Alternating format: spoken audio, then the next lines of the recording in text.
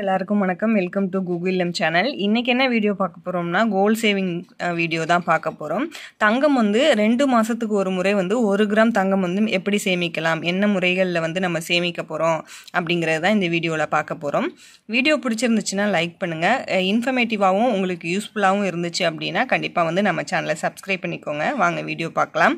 இப்போது ரெண்டு மாதத்துக்கு ஒரு முறை வந்து நம்ம ஒரு கிராம் தங்கம் வாங்கும்போது ஒரு வருஷத்தில் ஆறு கிராம் அதாவது முக்கால் பவுன் வந்து நம்மளால் வாங்க முடியும்.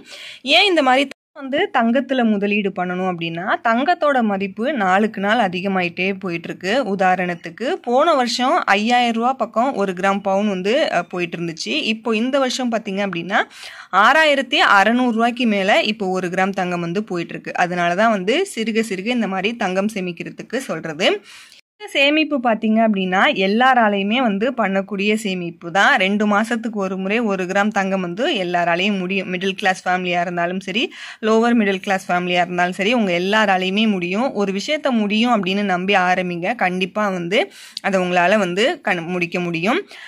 அது பார்த்தீங்கன்னா ஏன் இந்த மாதிரி டார்கெட்லாம் ஃபிக்ஸ் பண்ணணும் அப்படின்னு பார்த்தா எப்போதுமே எந்த ஒரு விஷயத்துக்குமே டார்கெட் அப்படிங்கிறது ஒன்று இருக்கணும். அந்த அந்த டார்கெட்னு இருந்தால் மட்டும்தான் நம்ம அதை நோக்கி பயணிப்போம். இப்போது எந்த ஒரு டார்கெட்டுமே இல்லாமல் நம்ம சேமிக்கணும்னு ஸ்டார்ட் பண்ணோம் அப்படின்னா ரெண்டு மாதத்தில் இந்த ஒரு கிராமுக்கு சேமிச்சிருப்போமா அப்படின்னு கேட்டால் கண்டிப்பாக வந்து நிறைய பேருக்கு வந்து கொஷின் மார்க்காக தான் இருக்கும். இந்த மாதிரி ஒரு ரெண்டு மாதத்தில் ஒரு கிராம் தங்கத்துக்கு நம்ம இவ்வளோ இவ்வளோ வந்து சேமிக்கணும். இந்த ஒரு ரெண்டு மாதத்தில் நம்ம ஒரு கிராம் வந்து வாங்கணும் அப்படின்னு நம்ம வந்து ஒரு டார்கெட் ஃபிக்ஸ் பண்ணோம்னா கண்டிப்பாக அதுக்காக சேமிக்க ஸ்டார்ட் பண்ணுவோம். வந்து நம்ம ஆர்டி உண்டியல் சேமிப்பு இந்த மாதிரி நிறைய சேமிப்புகள் பண்ணாலும் பணத்தில் சேமிப்பு பண்ணுறதும் ரொம்ப ரொம்ப அவசியம். அதனால தான் வந்து இந்த சேமிப்பு பிளான் வந்து நான் சொல்லியிருக்கேன். ஆல்ரெடி இந்த மாதிரி நிறைய சேமிப்பு வந்து நம்ம சொல்லியிருக்கோம். பார்க்காதவங்களா இருந்தால் பார்த்து தெரிஞ்சுக்கோங்க. வாங்க இந்த ரெண்டு மாதத்தில் ஒரு கிராம் தங்கத்துக்கு நம்ம எப்படியெல்லாம் சேமிக்க போகிறோம் அப்படிங்கிறத பார்க்கலாம். ஒரு கிராம் தங்கம் வாங்குறதுக்கு எப்படி சேமிக்கலாம் அப்படிங்கிறத ஃபஸ்ட்டு பார்க்க போகிறோம் நம்மளோட டார்கெட் பார்த்தீங்க அப்படின்னா ரெண்டு மாதத்தில் ஒரு கிராம் வாங்குறது.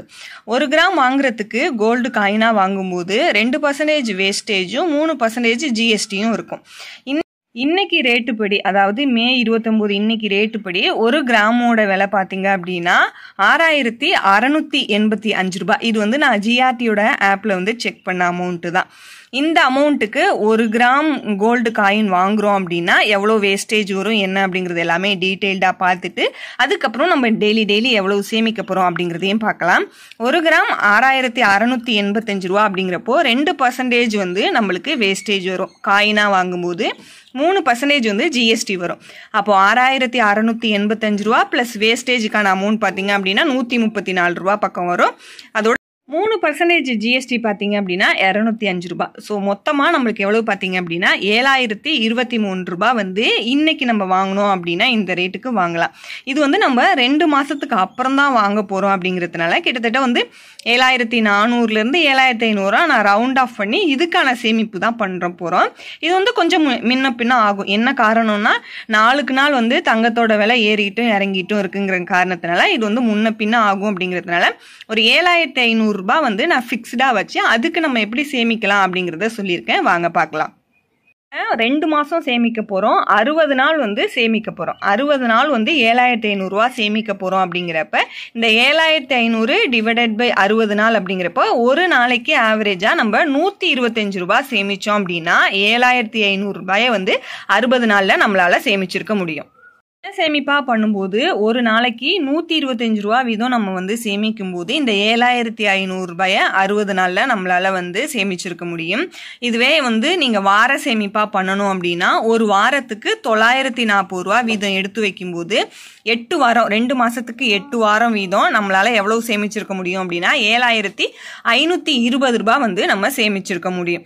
ஸோ இந்த மாதிரி ஒவ்வொரு மாதமும் ஒவ்வொரு ரெண்டு மாதத்துக்கு ஒரு தடவையும் நம்ம சேமித்து கோல்டு காயின் வந்து வாங்கும்போது ஒரு குறிப்பிட்ட காலத்தில் நம்மளுக்கு வந்து நகை வந்து நிறையவே சேர்ந்துருக்கும். இப்போ ஒரு வருஷத்துக்கு ஆறு கிராம் வீதம் நம்ம சேமிச்சிருந்தோம் அப்படின்னா இதுவே வந்து ஒரு அஞ்சு வருஷம் பக்கம் நம்ம இதே மாதிரி ரிப்பீட்டடாக சேமிக்கிறோம் அப்படின்னா முப்பது கிராம் வரைக்கும் நம்மளால சேமிச்சிருக்க முடியும். இதே வந்து ஒரு பத்து வருஷம். இந்த மாதிரி ஒரு டார்கெட் வந்து நீங்கள் ஃபிக்ஸ் பண்ணிக்கோங்க. சின்ன சின்னதாக வந்து சேமிக்க ஸ்டார்ட் பண்ணீங்க அப்படின்னா சிறுக சிறுக கொஞ்சம் கொஞ்சமாக நம்மளால் வந்து சேமிச்சிருக்க முடியும். அட் அ டைமில் நம்ம மொத்தமாக நகை ப நகை வந்து வாங்கணும்னு நினைக்கும் போது நம்மளுக்கு நிறைய அமௌண்ட்டு செய்குலி சேதாரம் போகும். அதே போல் ஒரு பத்து வருஷத்துக்கு அப்புறம் வாங்கணும் அப்படின்னு நம்ம நினைக்கும் போது அப்போ வந்து என்ன ரேட் இருக்கும்னு நமக்கு தெரியாது. அதனால இந்த மாதிரி சிறுக சிறுக வந்து சேர்க்குறது ரொம்பவே நல்லது. நகை அப்படிங்கிறது நல்ல ஒரு முதலீடு தான். ஸோ கண்டிப்பாக இந்த மாதிரி கொஞ்சம் கொஞ்சமாக சேமித்து வாங்குறதுக்கு ட்ரை பண்ணுங்கள் இந்த வீடியோ உங்களுக்கு பிடிச்சிருந்துச்சுன்னா லைக் பண்ணி ஷேர் பண்ணி கமெண்ட் பண்ணுங்கள் தேங்க்யூ ஃப்ரெண்ட்ஸ்